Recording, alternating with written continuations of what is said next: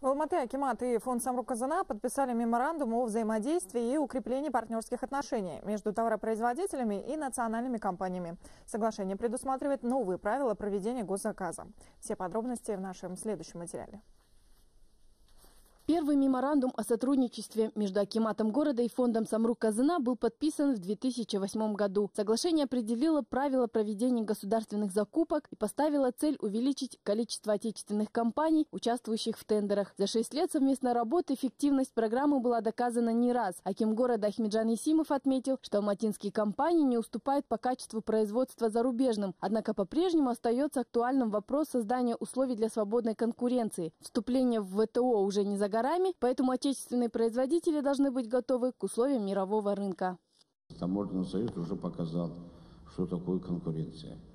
Тем не менее, нам необходимо продолжить политику развития казахстанского содержания способами, не противоречащими международным правилам и практике. Данные меры необходимы для повышения конкурентоспособности наших производителей.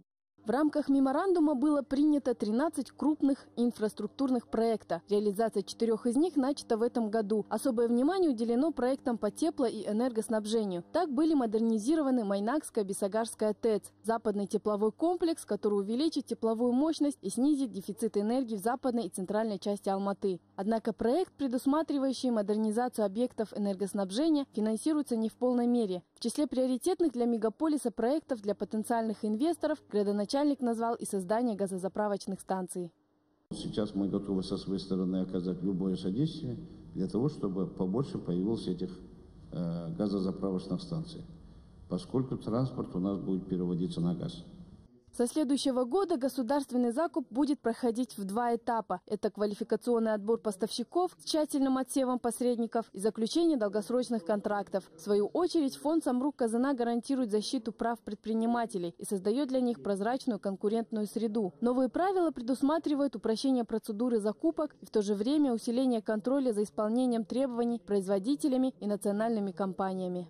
Наши правила ничем не будут отличаться от правил, которые используются Всемирным банком, а, такими крупными компаниями, как ТШО, Shell.